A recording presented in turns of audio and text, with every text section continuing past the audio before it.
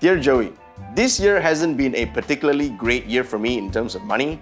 A typical increment with an average bonus, nothing special. My mom told me to deposit money into my bank account on Li Chun Day, which is the first day of spring. Apparently, this is somehow supposed to change my chi and luck and improve my situation. Is this true? Regards, Fanny.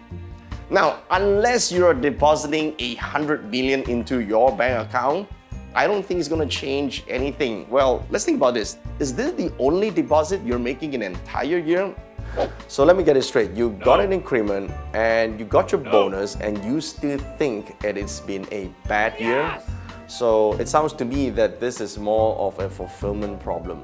Listen, we make a living by what we get, but we truly make a life by what we can give.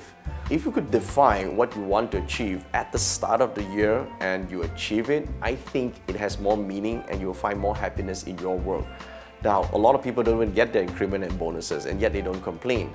If you can create positive meaning in what you do, you will find that the year is actually much more fulfilling and your work very meaningful. Oh, and the part about depositing money on the first day of Chun, listen to me. You know, when you bank in money, has got zero impact on your financial outcome.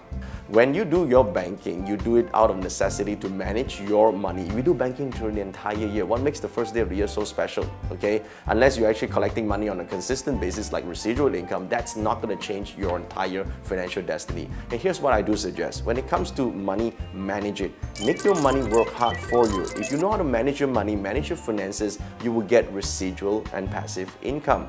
So that's the way you can grow your wealth. It's got nothing to do with whether or not you bank in on the first day of the new year. And that's it for this episode.